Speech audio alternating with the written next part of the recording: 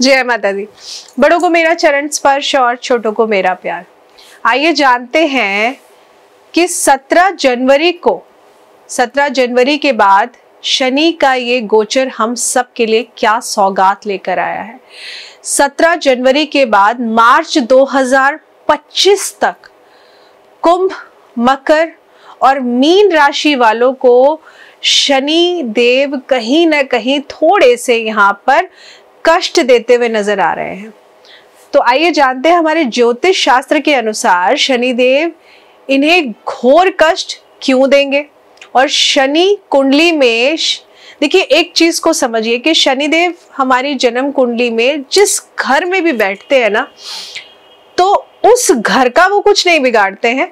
लेकिन उस घर से जिस पर दृष्टि पड़ रही है, कहीं ना कहीं वहाँ के लिए चीज़ें वो बिगाड़ देते हैं। अगर फ़र्स्ट हाउस में शनिदेव बैठे हैं तो सेवेंथ हाउस पर उनकी दृष्टि पड़ेगी, जो कि कहीं ना कहीं सेवेंथ हाउस से रिलेटेड जो भी सुख है, उसको खराब करने का कार्य करेंगे। अगर जन्म कुंडली में शनिदेव खराब है तो। तो शनि कुंडली में मैं फिर से आपको समझाती हूँ कि जिस घर में बैठते हैं, उस घर को ठीक रखते हैं, लेकिन जिस घर को देखते हैं, उनको तकलीफ़ दे देते हैं। इसलिए शनि के महादशा तथा अंतरदशा में अपने कर्म को ठीक रखना हम सब के लिए बहुत ही ज़्यादा ज़रूरी होता है। तो आइए जानते हैं कि शनि देव 17 जनवरी को जब राशि परिवर्तन कर कुंभ राशि में प्रवेश करेंगे तो हम सब के लिए क्या सौगात लेकर आएँगे? हमारे ज्योतिष शास्त्र में शनिदेव को विशेष स्थान प्राप्त है। शनिदेव को पापी और क्रूर ग्रह भी कहा जाता है, लेकिन ऐसा नहीं है कि शनिदेव सिर्फ़ अशुभ फल देते हैं, सिर्फ़ बुरा करते हैं, क्योंकि देखिए शनिदेव क्या है? कर्म फल दाता है। आप जैसा कर्म करेंगे, वैसा शनिदेव आपको फल देंगे। शनिदेव शुभ फल भी देते हैं। शनिदेव के शुभ होने पर व्यक्ति का भाग्योदय इतना अच्छा होता है कि उसने सोचा ही नहीं होता। हमारे ज्योतिष शास्त्र में अगर हम अब ज्योतिष की गणनाओं पर जाएँ तो कहीं ना कहीं ज्योतिष की गणना के अनुसार शनिदेव के कुंभ राशि में प्रवेश करने से कुछ राशियों को तो शुभ और कुछ राशियों को अशुभ फल की प्राप्ति होती हुई यहाँ पर दिख रही है। तो आइए जानते हैं कि शनिदेव के राशि परिवर्तन से किन राशियों को मिलेंगे, शुभ फल और किन राशि वालों का रहना होगा। बहुत ज़्यादा सावधान। सबसे पहले शुरू करते हैं मेष राशि से। और मैं एक चीज़ फिर से आपको बता दूँ कि मैं जो भी राशि फल आपको दे रही हूँ, ये मैं आपके चंद्र राशि के अकॉर्डिंग दे रही हूँ, सूर्य राशि के अकॉर्डिंग नहीं दे रही हूँ।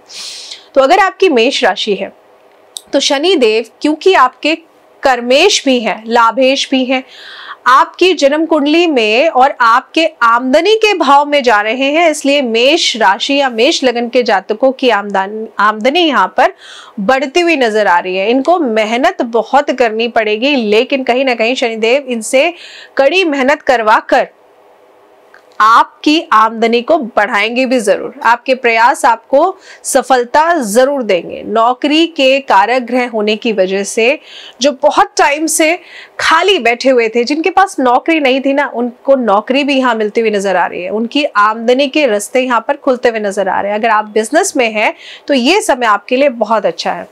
जो लोग चमड़े का, लोहे का, पेट्रोल का या स्टील का या किसी केमिकल का या फिर मैं कहूँ प्रॉपर्टी का काम करते हैं, ये समय ये पीरियड आपके लिए शनिदेव अच्छा फल देंगे। पैसा आएगा आपके पास और आने के साथ में टिकेगा भी, लेकिन आपकी जन्म कुंडली में शनि ग्रह अच्छे होने चाहिए इसके लिए।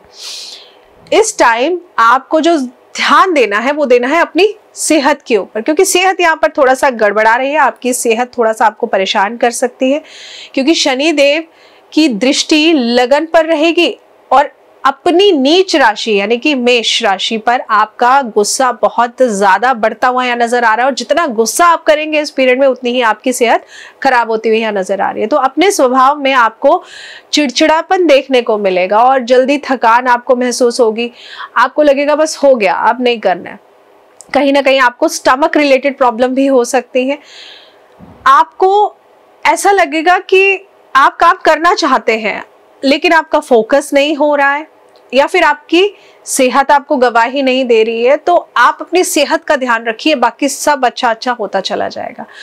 अगर आप किसी उच्च शिक्षा की तैयारी कर रहे हैं तो ये समय आपके लिए बहुत अच्छा है। जो स्त्री गर्भवती है, वो अपना खास तौर से ध्यान रखें, क्योंकि शनि की दृष्टि आपके पंचम भाव पर रहेगी। कोई भी छोटी से छोटी दिक्कत हो तो आप प्लीज़ डॉक्टर के पास जाइए डॉक्टर की सलाह ज़रूर लीजिए। इस समय किसी से बेवजह उलझना आपके लिए बिल्कुल भी अच्छा नहीं है। आपके रिश्ते खराब हो जाएँगे, धन के साथ संबंध भी खराब हो जाएँगे, नहीं तो आपके लिए चीज़ें इतनी बिगड़ जाएँगी कि आपको बाद में लगेगा कि मैंने ऐसा क्यों किया। तो आप बेकार के इन चक्करों से दूर रहिए, अपने रिश्तों को मज़बूत करके चलिए, ये बहुत ज़रूरी है। आप पुराने रिश्तों को भूल जाएँगे और अगर आप ऐसा करेंगे कि पास्ट में किसी ने आपके साथ अच्छा किया था और आप उसको भूल गए हैं तो आपके लिए ये गोचर फिर अच्छा साबित नहीं होगा। क्योंकि जैसी आपकी सोच है, वैसा ही आपको फल मिलेगा। कहीं ना कहीं आपको देखिए कुछ गंभीर बीमारियाँ यहाँ पर होते हुए नज़र आ रही है, इसलिए समय समय पर आप डॉक्टर से सलाह मशवरा लेते रहिए। ये आपके लिए बहुत ज़्यादा ज़रूरी है। पारिवारिक समस्याएँ अगर आए, आपको लग रहा है ज़्यादा आ रही हैं तो परिवार में जो भी बड़ा है, उससे सलाह मशवरा लेकर ही आप अपनी लाइफ का सोल्यूशन निकालिए। खुद ही बड़े बनकर डिसीज़न मत लीजिए। ये बहुत ज़रूरी है आपके लिए। तो मेष राशि पर शनि की अशुभ नीच दृष्टि पड़ने वाली है, ये तो हम सब समझ गए। और शनि की इस दृष्टि से मानसिक और शारीरिक कष्टों में वृद्धि हो सकती है, जिसकी वजह से आपको कई तरह की परेशानियों का सामना करना पड़ सकता है।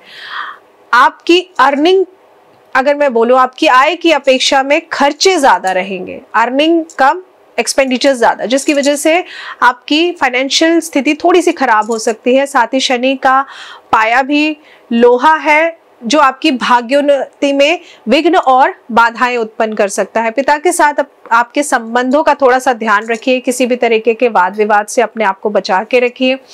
शनि की वजह से आकस्मिक खर्च यहाँ पर होते हुए नज़र आ रहे हैं, दवाइयों में या फिर कोर्ट कचहरी में पैसा खर्च हो सकता है, या घर में कोई मशीनरी कभी कुछ खराब हो गया, कभी कुछ खराब हो गया, इसमें आपके पैसे जा सकते हैं।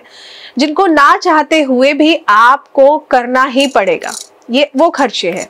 इसलिए 22 अप्रैल से गुरु की इस राशि में स्थित होने से आपको कहीं ना कहीं थोड़े बहुत शुभ समाचार मिलने के यहाँ पे योग दिख रहे हैं। आपका मान सम्मान में वृद्धि होते हुए भी नज़र आ रही है और खर्चे थोड़ा सा आपके कम हो सकते हैं यहाँ पर। बस आपको ध्यान रखना है कि परिवार की समस्याओं पर ध्यान दीजिए, अपनी समस्याओं पर ध्यान दीजिए, लेकिन लड़ाई झगड़ा मत करिए। घर परिवार में धार्मिक कार्य होते रहेंगे, जो कि बहुत बढ़िया रहेगा। किसी मित्र के सहयोग से आपको यहाँ पर लाभ होते हुए नज़र आ रहा है।